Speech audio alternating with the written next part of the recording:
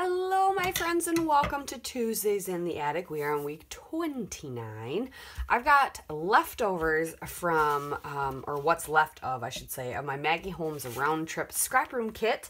Um, you'll actually see me use it first next week, which is kind of fun.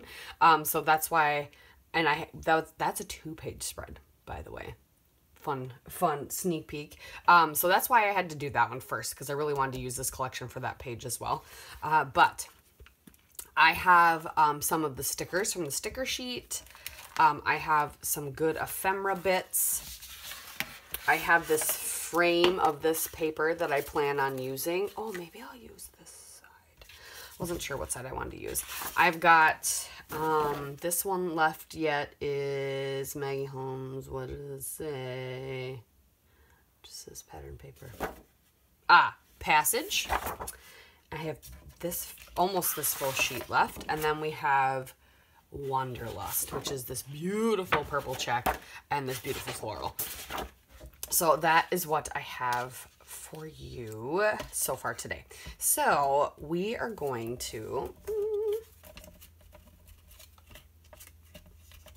I've got all these little scraps for making my layout for next week. And I've already got my photos cut down. So this lovely grid, I love grids. I have not done one in a while and I can't understand why. Oh, and I have these two sticker sheets. So I'm pretty sure, I well, I know one of the, I think this one's Jen Hadfield.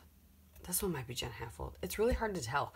The colors, this one's Jen Hadfield. Uh, I had this with this collection accidentally at first, and then I realized this actually went with it, but these look so Jen Hadfield like that I wasn't really sure. But I'm putting them both in here because I think both of them go really well. But now that I see this more, um, the colors are definitely not, well, you know, it's still really hard to say. Uh, but yeah, I think, I'm, pr I'm pretty sure this is, um, travel themed. And so this is from the Jen Hadfield, or from the Maggie Holmes collection, and this is from the Jen Hadfield. But like I said, I like a lot of the things in this one, so I brought this sticker sheet into. That was also from the scrap room. Um, so lots of layers, and it's an amazing grid, and I love me some grid. So we've got lots of good layers going on, I think, and I have Easter photos. So what I've done so far, let me just flip these, um, is I, just so you can see them better, I do have two 4x4s. And then I have one two by two. This um, collection or this sketch calls for one, two, three, four, five two by twos. But instead of doing my other two two by two, I had photos that I could do two by four. So they would take up the same amount of space, but they're just bigger photos. So we've got those like so, which I really enjoy. Um, so we're to do that with them. I think I'm to mat them all on white really quick. Um, or I might even mat my two inch ones. Oh, they might not mat on here because I think this is the same size. Yeah. I say, can I mat them on these little strips of pattern? No. Um, I think I'm going to mat all my photos in white really quick. So we'll do that. Uh, and then I kind of want to use this side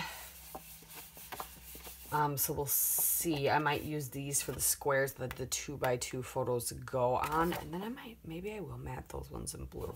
We'll see. But I'm going to play with this, with those photos. So now I just have to kind of figure out in my brain how it's going to work to do um, these other patterns on my page. So I really want a little bit of this floral. So I think the first thing I'm going to do is I'm going to trim this down and we're going to put a layer of the floral on top of here.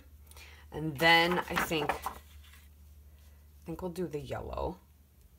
But this needs to be framed in two colors. So I think I'm going to do white and this purple. So that is my plan. We'll see if we can make that work. And then I still have this beautiful stripe to play with. Um, I'll have a little bit. I won't have a ton. So yeah, that is the plan. Uh, just so you guys don't have to watch me struggle, I'm going to go ahead and start trimming papers down. So it'll be, it'll go blue, floral, um,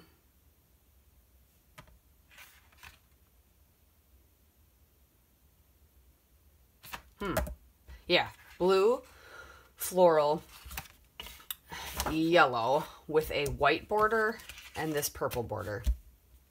And that's what we'll have.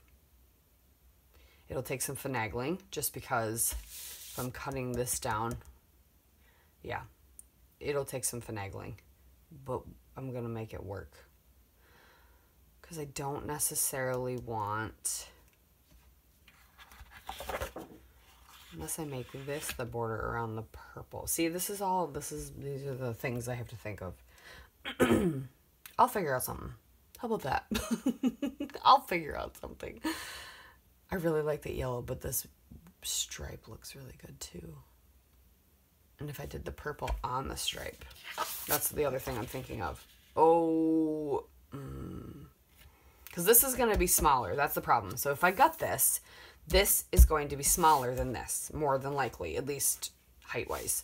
So I need it to actually be the smaller one. Otherwise, I'm, and with the pattern, otherwise I'm going to have to strip and like, I'm going to have to jimmy rig a border. And with the pattern like that, that's going to be hard. So that's why I'm like, well, maybe. And I could still gut this and we could still use the yellow. I'm going to do a lot of gutting. So I will be back. All right, I ended up doing the yellow and piecing together a frame for the purple. You can't tell that the pattern's interrupted because what I didn't take into account, which I don't know why I didn't, my brain was already thinking about it for the other paper. When I gutted this, I did a two inch which made this inside part like even smaller.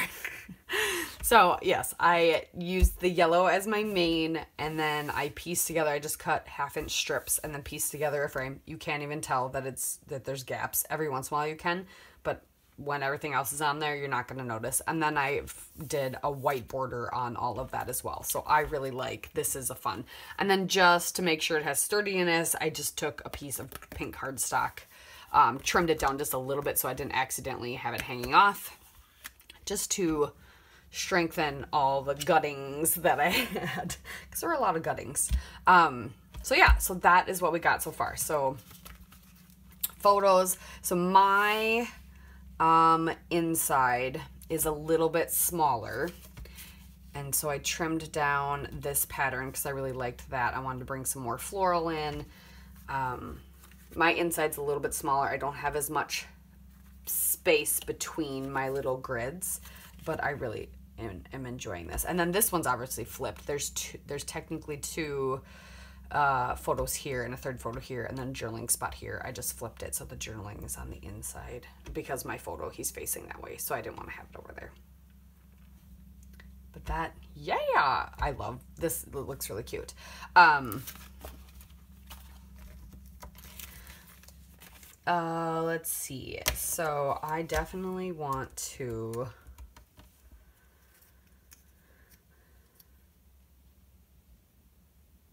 My journaling doesn't have to say much, so I might just stick this little yellow label there. I think I'm going to sprinkle some flowers around just because it's Easter, it's spring. I'll see what else I can find as well. I have a bunch of floral ephemera in here that I'll probably dig out, but I need to figure out something for a title and what... Um, what font to use. A wood grain would be really cool. But I have no A's.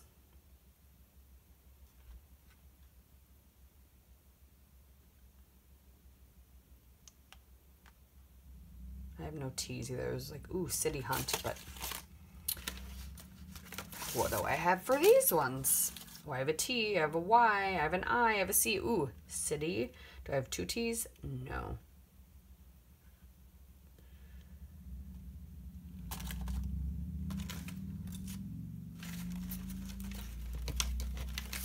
Start green matches as well. I have a T there. H-U-N-T. Do I have an N? I do. Okay, so we're going to do City Hunt in this.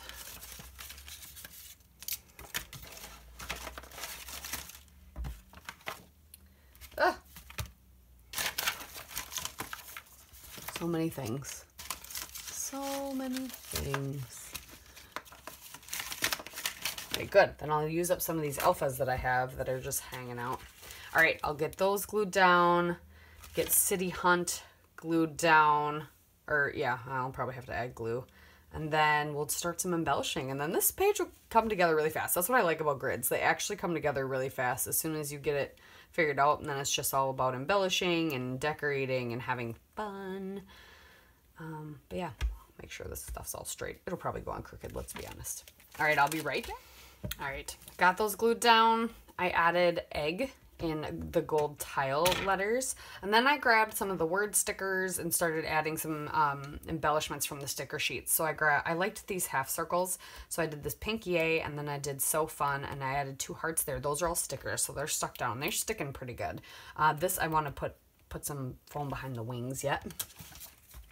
Um, I did a the half circle love here and I've got this bouquet that will stick there. Um, this is just an ephemera piece as well. I'm going to pop up the flowers. I did a you and me road trip. I did a little, um, what was called?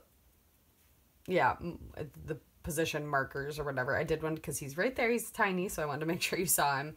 And then I did happy day up there. But I like that there's enough color and pattern going on. I don't think I need too much more um, on this layout. Uh, just some, I like the little sprinkles of some embellishments here and there. And I have these tiny, tiny foam squares that will, and this butterfly is a sticker, so it's to stick anyway, but we're to add, because I'm putting the wings up, we're to add some glue there too, just in case. I'm to hold that down. I think I'm just to glue this flat. And I just wanted to use the bouquet and I thought it would work well with the picture of my son and I and it'll cover up the, the bus seat there. Mm -hmm, mm -hmm. And otherwise I don't have this flower glued down at all. I think I'm gonna grab, just add a little bit of glue like under, let's see, under here. There we go, get that so that glues down.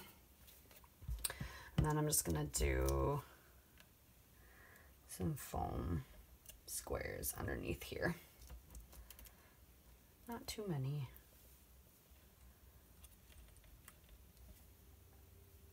Stick to the paper, not me, please. Thank you.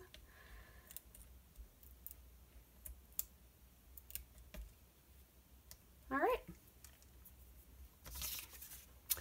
There we go. I love all the color and fun on this page. There's there's a lot of it, that's for sure. I'm gonna add a little glue over here because when I lifted that up, I don't want my pages falling apart before I even put them in the book. So I'm just gonna add some white glue under here. There we go. Okay, there we go that is my week 29 layout. Hope you guys enjoyed. Hope you do have fun with this if you decide to play along ever. And we'll see you next time.